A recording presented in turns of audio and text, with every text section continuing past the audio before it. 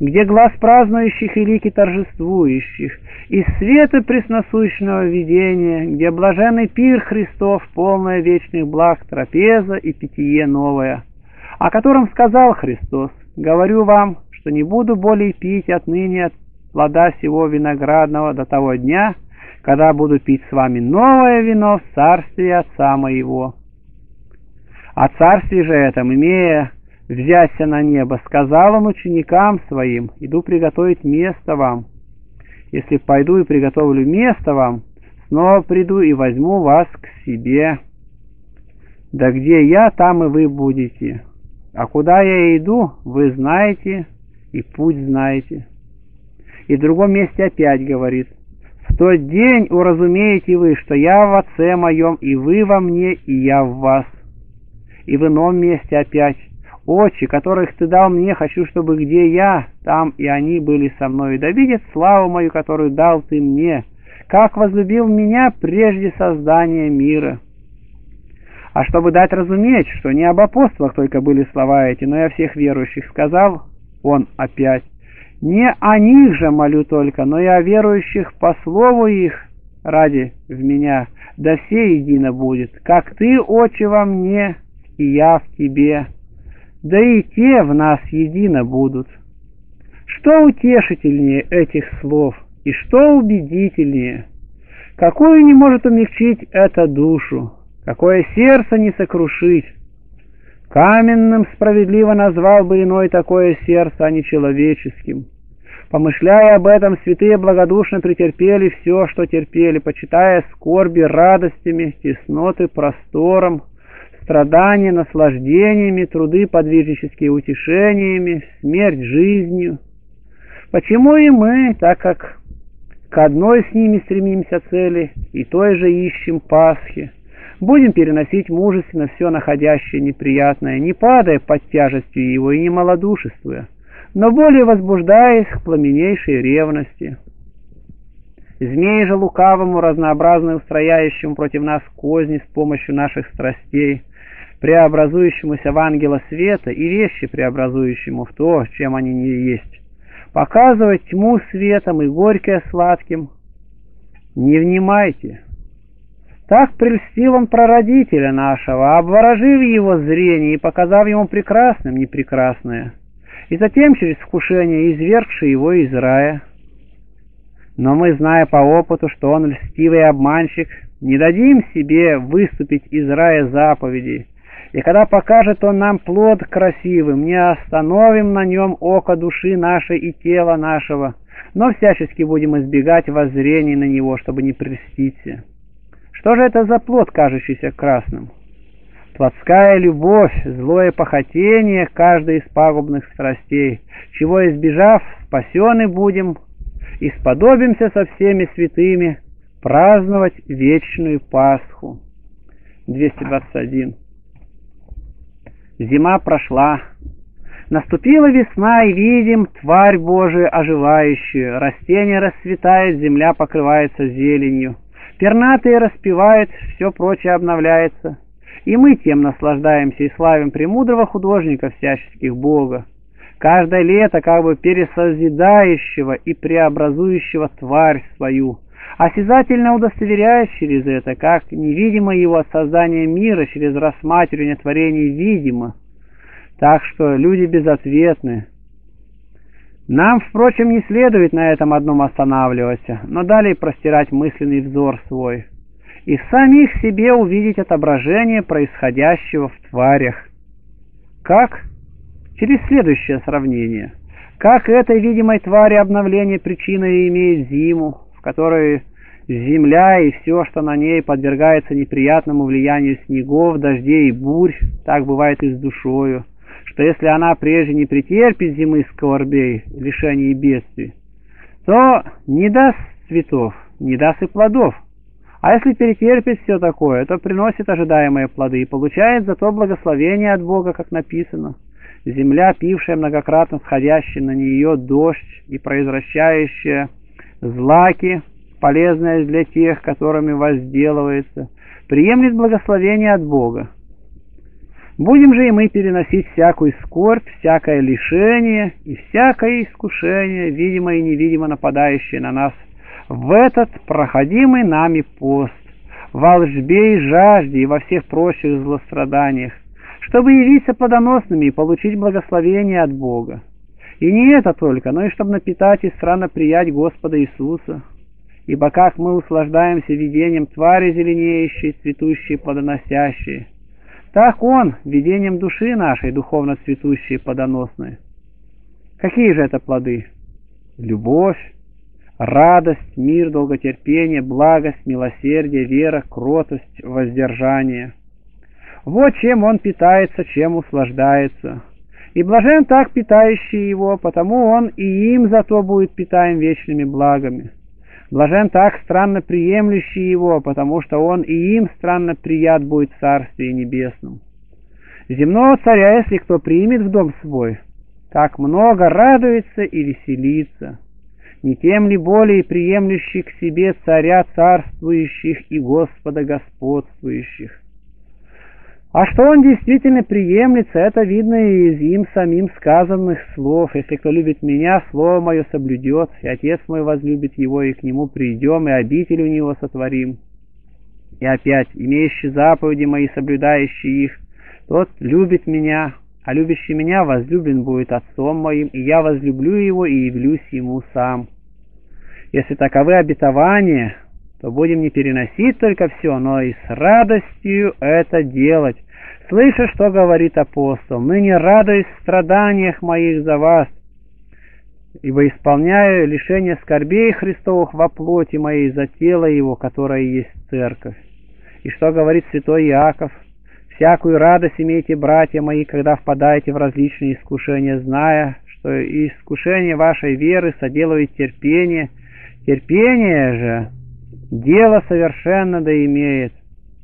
Да будете совершенны и всецелы, и ни в чем не иметь нужды. Видите ли, что в искушениях радость и в скорбях веселье? Так жили святые. Так понудим себя жить и мы, чтобы, понудясь по следам их шествовать, зато вместе с ними Царствие Небесное наследовать. 222. Вот уже на самых последних пределах поста находимся, ибо, как видите, кончается он. Из древних времен, дошедшее до нас, письменное свидетельство удостоверяет нас, что в это время возвращались обратно в свои обители блаженные отцы, в пределах Святого Града Иерусалима, в пустынях, проводившие Святую Четыредесятницу.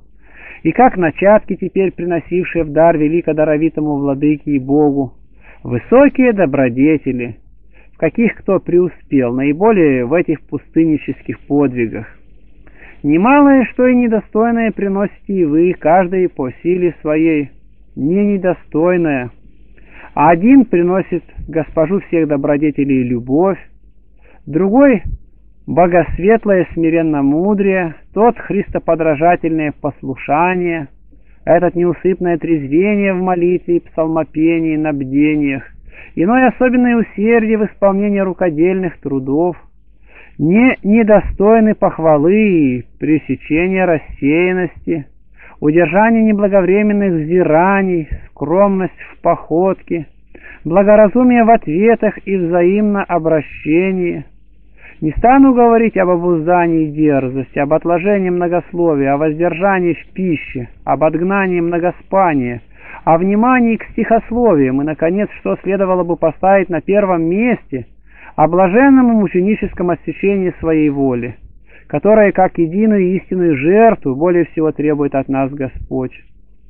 Каждое из исчисленных качеств есть доброе и преподобное приношение. И дерзаю сказать, что из вас никто не явится тощ пред лице Бога, но всякое свое добро принесет.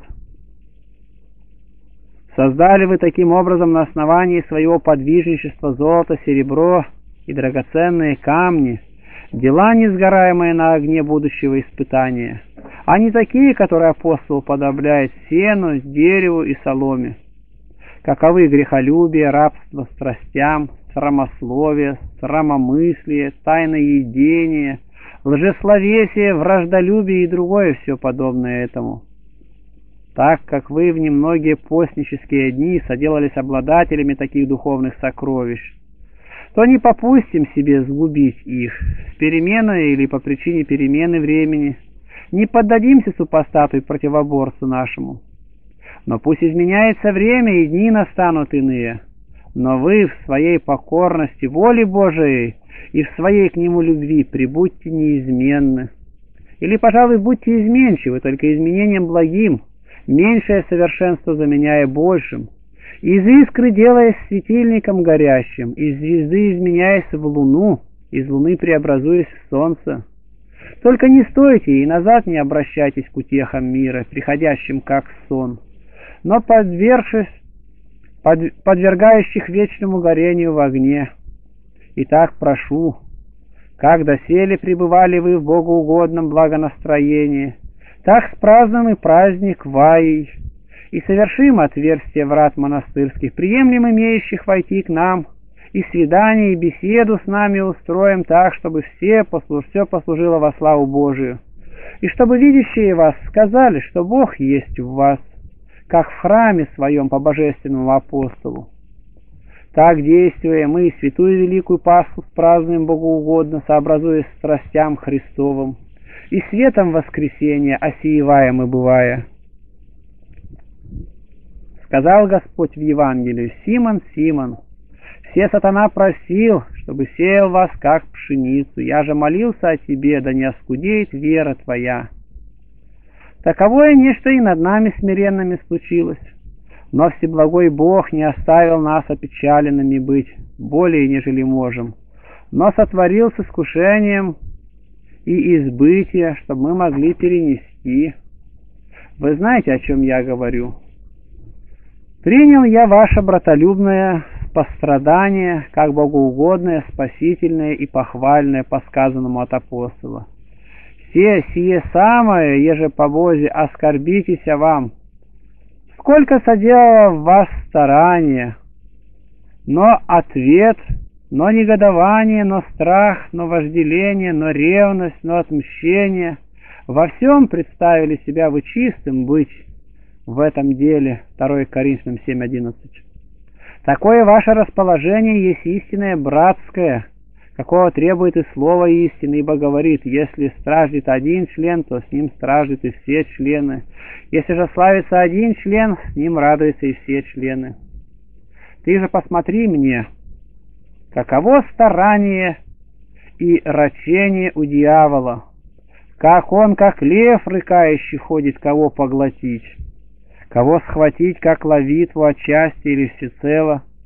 Ибо он, когда ухватит кого отчасти, не довольствуется тем, но все простирается на худшее, пока не причинит смерти греховно. Именно, во-первых, покушается он сделать, чтобы мы приняли прилог, потом, чтобы в сердце замыслили что-либо худое, осквернив же и заразив таким образом душу.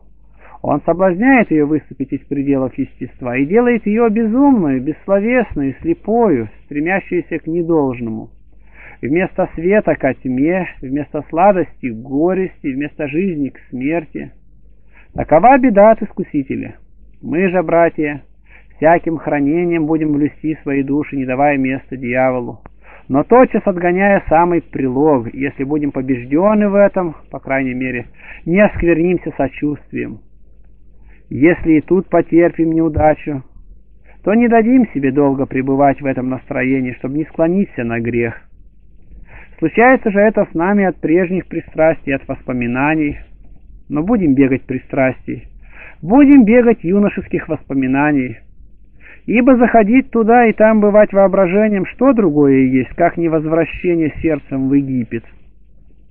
Чего берещись нам надлежит по внутреннему человеку, относительно же внешнего делать то, чему учит апостол.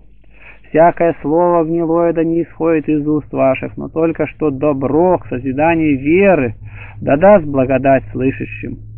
И не оскорбляйте Духа Святого Божия, которым вы знаменались в день избавления, запечатлены. Всякая горечь и гнев, и ярость, и крик, и хула, злоречие, да будут удалены от вас со всякой злобою Бывайте же друг к другу добры, милосердны, прощая друг друга, как и Бог во Христе простил вам. При этом будем избегать оставления обители, как причины падения. Увы, братья твои внутри двора, а ты вне. Братья твои в безмолвии, а ты в суесловии. Братья твои покоятся, а ты переходишь с места на место туда и сюда. Отсюда соблазны, отсюда падение. Овца, оторвавшаяся от стада, чему подвергается? Не добычей ли зверей бывает она, так и отбегающая от братства. Но да не будет этого, братья, отнюдь да не будет. Все же благообразные по чину добывает у вас, все со вниманием и осторожностью, все как перед лицем Господа, видящего и сокровенное наше, и явное, и что днем, и что ночью, и все, что бывает по всякому движению нашему телесному и мысленному, да будет таким образом непреткновенно и иудеям, и еленам, и церкви Божией. И об этом довольно. Поскольку же четыре десятницы кончается, то дадим славу Богу, сподобившему нас совершить ее и давшему нам силу поднять обычное в продолжении ее подвиги. Вот труд прошел, а награда пребывает. Тело утончилось, но потучнел дух. Тучнейте и освещайтесь более и более, и всесовершенный ваш дух, душа и тело непорочны в пришествии Господа нашего Иисуса Христа, да сохранится. 224. Сподобившись благодатью Христовой совершить святую Пасху, возьмемся опять за дела свои. Так, однако, чтобы работать и вместе воспоминать о животворящих страстях Спасителя нашего Иисуса Христа и славном воскресении Его. Ибо никак не следует допускать, чтобы с минованием Пасхи миновала вместе и память об этом. Но всегда будем приводить перед очи ума спасительные страсти Господа Его – его распятие, погребение и воскресение. Дабы непрестанно занимая ум такими предметами, были мы неуловимы для страстей. Если же когда по невниманию и уловлены будем, то поскорее возрим на распятого Иисуса Господа славы, и тотчас воссияет исцеление душам нашим. Так и Израиль древле, когда ужаляем был змеями, возревал на медного змея, и тотчас исцелялся. Известно же вам, что злые помыслы ужаливают подобно змеям, вливая в душу яд, который со всем тщанием надлежит поскорее изъять, как только это случится, чтоб промедлением не сделать раны трудноизлечимую. Видите, теперь весна. Она есть родительница крови, а кровь плоти. Плоть походствует на душу, а дух на плоть. Так что усиление плоти ослабляет дух, а усиление духа ослабляет плоть. Будем же осмотрительны, и в употреблении пищи, питья, сна и всего другого станем держать строгую меру, чтобы иначе тело не взяло верха над душой, а напротив, чтобы душа одерживала победу над телом. Бегущий на ресталище никогда одну или два-две стадии пробежит, провозглашается победителем, а когда пробежит все и первым прибежит к назначенной черте так и мы никогда четыредесятницу или пятидесятницу проведем, как должно, уже победители есть. Но говорю вам, что если всю жизнь свою не прибудем в бдительном подвиге, то не избежим сетей дьявола и победы и награды не получим. Почему еще и еще добрым подвигом подвязаться будем, еще и еще будем проливать пот для стяжания добродетелей, еще и еще утесним плоть. Еще и еще поработим тело, еще и еще будем прогонять страсти. Всегда мертвость Господа Иисуса в теле своем нося. Всегда осуждение смерти сами себе имея. Ибо, конечно, и мы умрем так же, как отцы наши и братья, и приставимся от сели. И отыдем в места странные, и увидим виды, которые не видали. Страшно слово об этом — и выступление приводит имеющего ум. Почему в страхе и трепете пребывая будем в строгом порядке держать свои чувства и всячески оберегать себя от суетного слышания, от вредного видения, от изнеживающего запаха и от всякого опасного шага, всех, себя всецело посвящая Богу Святому, да благоугодив Ему наследниками соделаемся вечных благ. 225. Пасха прошла, и праздник кончился. Но радование или празднование, если хотите, не прошло, ибо духовно нам должно всегда радоваться и праздновать, по слову апостола. Радуйтесь всегда в Господе, еще раз говорю, радуйтесь. И страстная седмица прошла, но память о страданиях Христа Спасителя нашего да будет у нас всегда нова и жива. То есть память о том, что Господь славы за нас распялся и погребен и воскрес в третий день совоскресил и соживотворив и нас с тобою. Да мы, живущие, живем уже не для себя, но для умершего за нас и воскресшего. Так, чтобы с дерзновением могли говорить словами апостола. Уже живу не я, но живет во мне Христос, а что живу ныне во плоти, то живу верою в Сына Божия, возлюбившего меня и предавшего себя за меня. И вот какой вывод из этого таинства. Надлежит нам быть мертвыми для мира и жить для единого Бога. Поэтому и после Пасхи должны мы трезвиться и бодрствовать, молиться и сокрушаться, слезы источать и просвещаться, всегда мертвость Господа Иисуса на теле носить, каждодневно умирать произволением, всегда разлучаться мысленно с телом и отходить к Господу через удаление от мудрований плоти. Не говори теперь не четыредесятница, для трезвенствующего всегда четыредесятница. Не говори уж, я давно подвязаюсь и имею нужду в упокоении. Здесь на земле нет покоя. Не говори, я устарел в добродетели и не боюсь. Страх изменений и падения никогда не должен отходить, ибо многих устаревших в добродетели не извергал сатана в руку греха в одно мгновение времени. Так что, кто думает, что стоит, берегись, чтобы не пасть и думающий добре охраняемым быть, охраненным, да бережется, не оставлен ли без всякой охраны?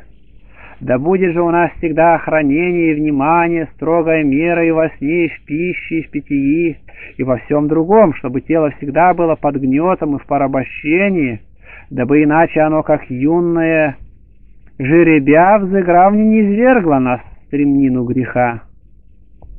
Я наказывал вам в недавнем поучении не отособляться и не оставаться наедине в скрытных местах, а некоторые из вас все же были в них опять. Что хотите? Жезлом ли к вам прийти или с любовью и духом кротости? Всяко я говорил, и вы не послушались.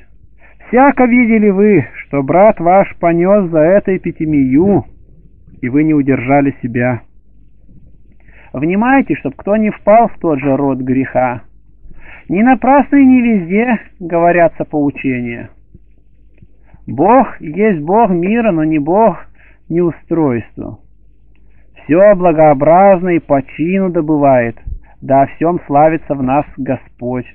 Оттуда и отсюда сходящиеся братья, внимайте себе, где и как сесть, и как сообращаться, не как получившее разрешение на все, но как связанные духом, не как никем не назираемые, но как назираемые Господом, видящим всякое движение и всякое действие ваше.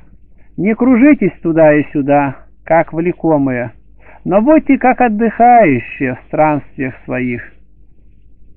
Внимайте рукоделию, молитвам и псалмопениям вашим. Ничего не сокровиществуйте в себе здесь серебролюбно, но довольствуйтесь тем, что есть. И Господь сам сказал, «Не оставлю тебя и не презрю тебя». Иисуса Новина 1.5. Так что у нас всякий с может говорить, «Господь мне помощник, не убоюсь, что сделает мне человек?» Поминайте о братьях ваших, взирая на кончину жизни их, подражайте вере их. Таков блаженный Домитиан, которого мы воспели, и память которого со святыми. Какую куплю совершил он? Какую жизнь провел? Немногими трудами и подвигами, какое стяжал он вечное наследие. Был он человек бедный и незначительный по плоти. Но поскольку избрал он себе добродетель и возлюбил Бога, то Бог и возвысил его по слову Писанию. только прославляющих меня прославлю, уничижающих меня бесчестные будут. Радоваться и веселиться надлежит о таких братьях. Но какая от этого польза, если мы не привнесем к этому нечто и со своей стороны? Привнесши же по силе своей будем иметь часть со святыми во Христе Иисусе Господе нашим. 226. Радостью радуемся, смиренные мы, видя вас каждогодно приходящими сюда, и как бы вторую Пасху празднуем пришествие ваше. Но как вы приносите нам плотское, каждый, что рука его обрела у себя, так и мы, как бы в некое уравнение, предложим вам духовное. Итак, прошу вас именем Господа нашего Иисуса Христа, ходите достойно звания монашеского, достойно исповедания, исповеданного нами, и гонения претерпенного за Господа. Живите, житие ваше имуще добро в мире, да о нем же клевещут вас, как злодеев, усрамятся, видя на деле ваше доброе поведение. Постараемся как для себя самих, так и для противящихся истине, твердо благоустроенную представить жизнь нашу, благое во взаимное обращениях соблюдая поведение и в добрых начинаниях руководясь добрыми правилами. Церковь ли собрались, будем соблюдать правила апостольское – Каждый из вас, говорит апостол, псалом ли имеет, учение ли, язык ли, все это да будет к созиданию. Или проходим куда по нужде, будем проходить благоговейно, чтобы на лице нашем как бы благодать некая просеивала в назидание видящих. Или женщины случится вести беседу, будем говорить с нею с полным вниманием, скромно сдерживая очи от воззрения, чтобы не приять остно и стрелы в сердце. Одним словом, все должно делать во славу Бога, возлюбившего нас и предавшего себя за нас, которого любовь выступление приводит любителя, не попуская ему принадлежать себе, но одному тому, кого любит он, что можно видеть и на любящих себя душевно или плотски.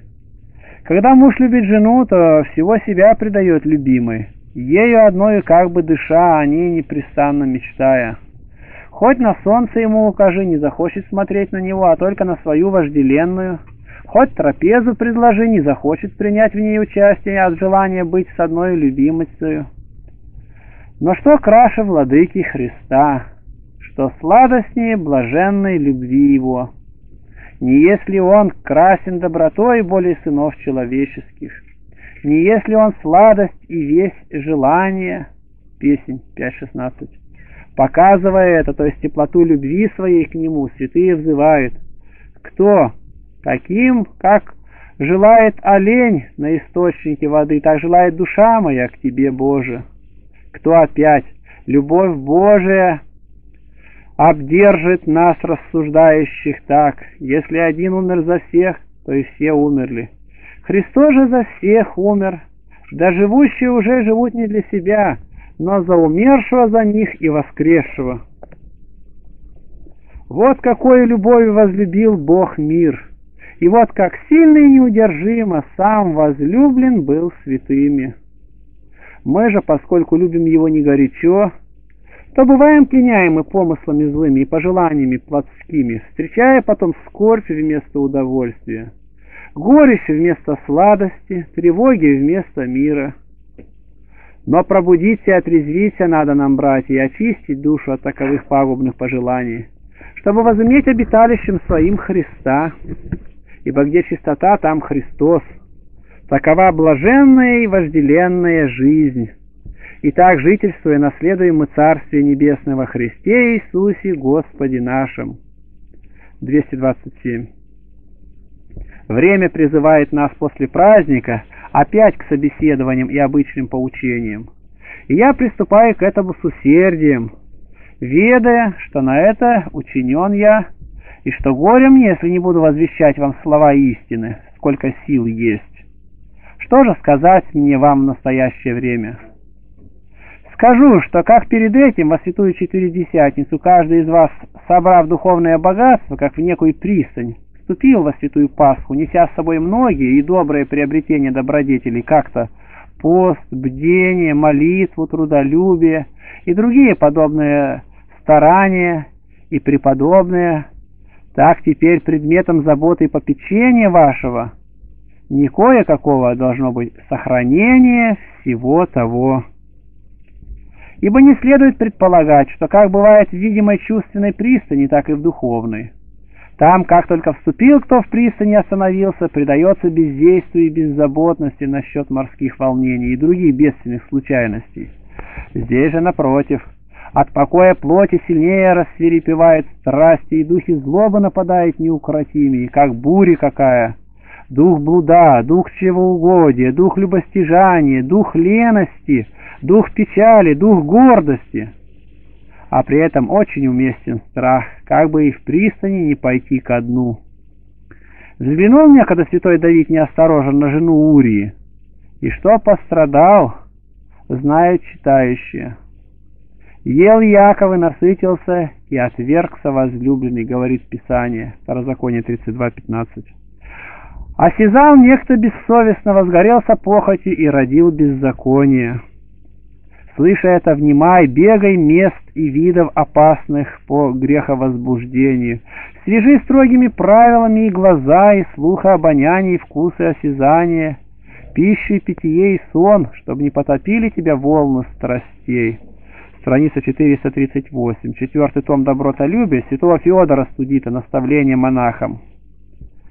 Ведать также надлежит, что плывущий по чувственному морю невольно подвергается бурям и треволнениям, Переплывающий же мысленное море есть господин и бури и тишины.